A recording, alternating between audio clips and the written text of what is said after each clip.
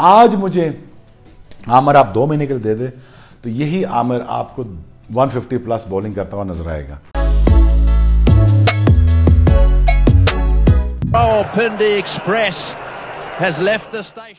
अस्सलाम वालेकुम welcome to chef YouTube channel और एक बड़ी खबर सुनी होगी आमर के लेके आमर को थैंक यू वेरी मच कह दिया है पीसीबी ने और पीसीबी ने ये कहा है कि अब आप आपको कंसिडर नहीं करेंगे। लेकिन एक अच्छी चीज़ की वसीम खान ने उनको फ़ोन किया, पूछा कि आप वाकई रिटायरमेंट देना चाहते हैं या आप नहीं खेलना चाहते हैं तो आप हमें बता दें।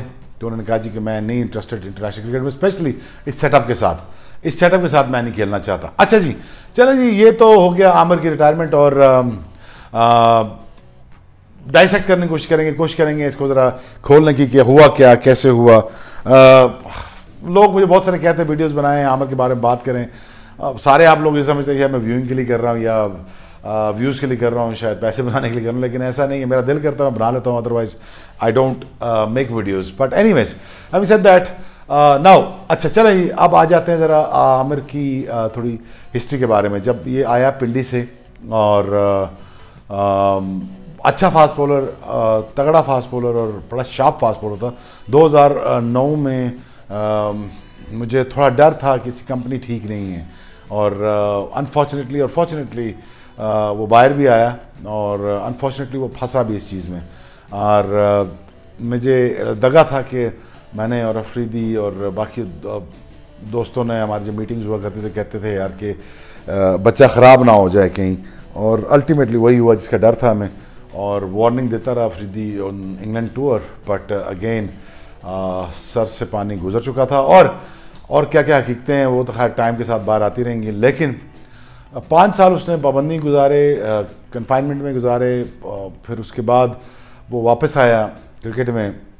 और इसलिए वापस लाया गया कि बहुत सारे लोगों ने ये फील किया कि बच्चा है यार, उसको फंसाया गया, वो फंस गया, उसका करियर बहुत अच्छा था फास्ट बॉलर बहुत अच्छा था तो उसको शायद एक चांस मिलना चाहिए तो बाकियों को उन्होंने चांस नहीं दिया, उन्होंने थैंक यू वेरी मच कह दिया।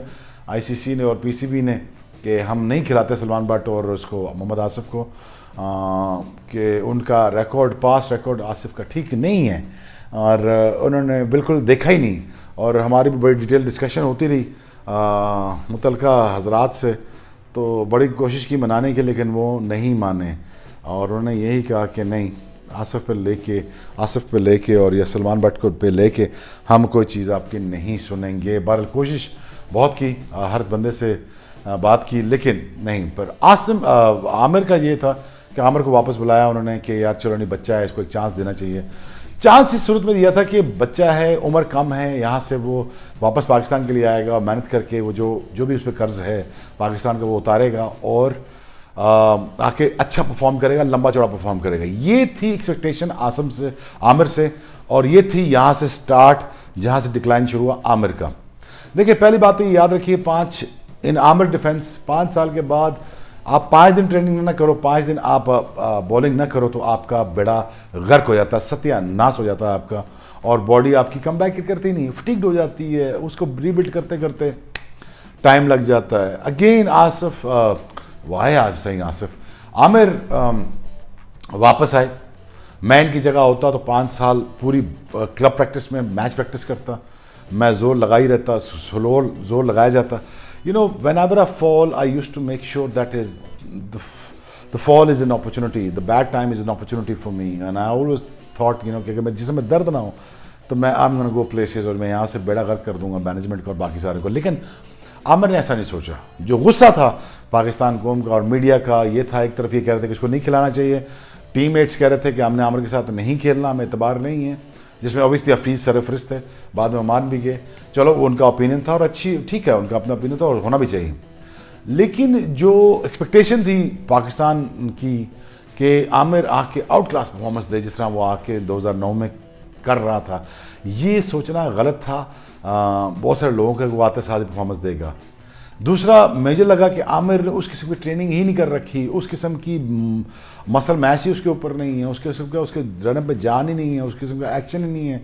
और थोड़ा सा मुझे स्लो भी लग रहा है। एट टाइम मुझे वाइट बॉल से वाइट बॉल से बेहतर लग रहा था या इवन शॉर्टर फॉर्मेट जो टी ट्वेंटी उसमें बेहतर लग रहा था। Otherwise he was looking very average fast bowler और जहाँ से गुस्सा माउंट करता गया पाकिस्तान टीम का, पाकिस्तान टीम मैनेजमेंट का। और पाकिस्तान कौम का और मीडिया में बातें शुरू होंगी कि ये परफॉर्म नहीं कर रहे, लाडले हैं, उनको मिकी आर्थर बहुत संभाल संभाल के चला रहे हैं, लेकिन वो किसी कारामद साबित नहीं हो रहे। अगेन ये गुस्सा बिल्ड होते होते किसी टाइम पे तो किसी वक्त, किसी जगह तो पहुँचना था।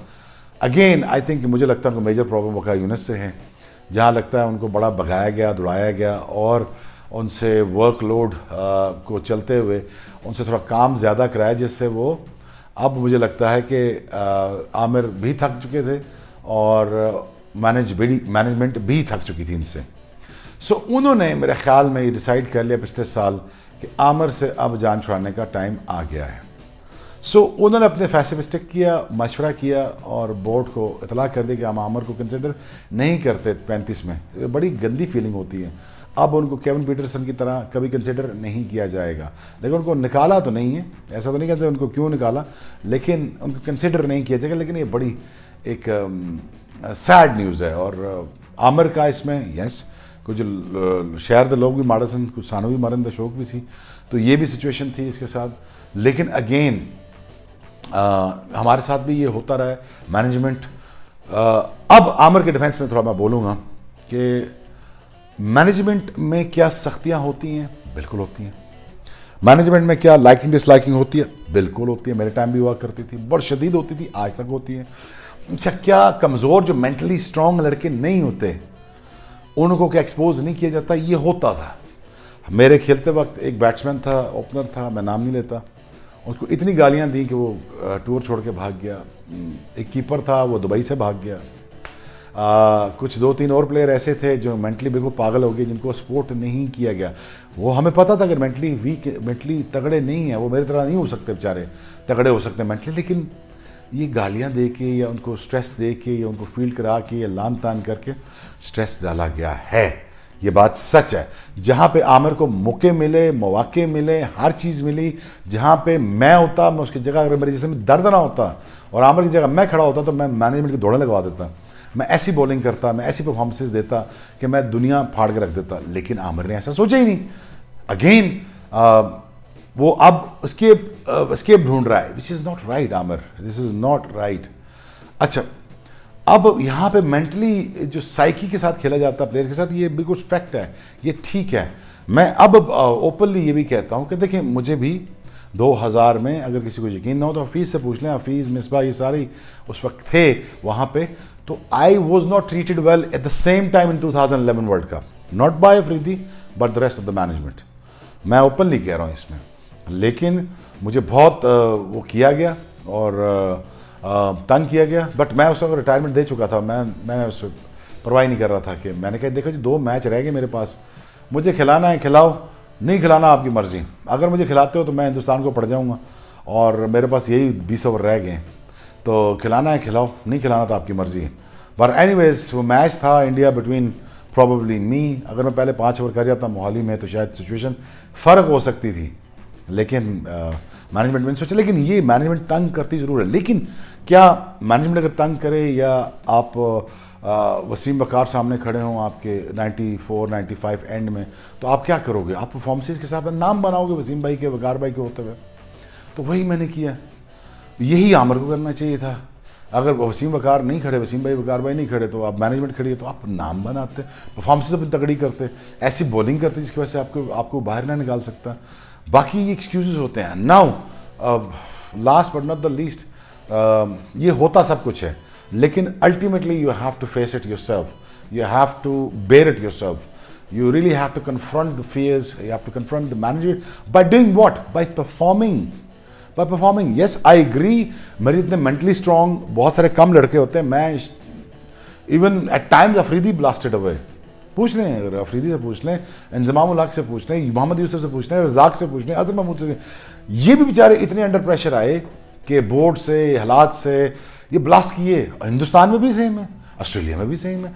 आपका प्रेशर डाला जाता है आप पे, आपको फंसाया जाता है आपको मेंटली वीक किया जाता है लेकिन आप क्या करते हो?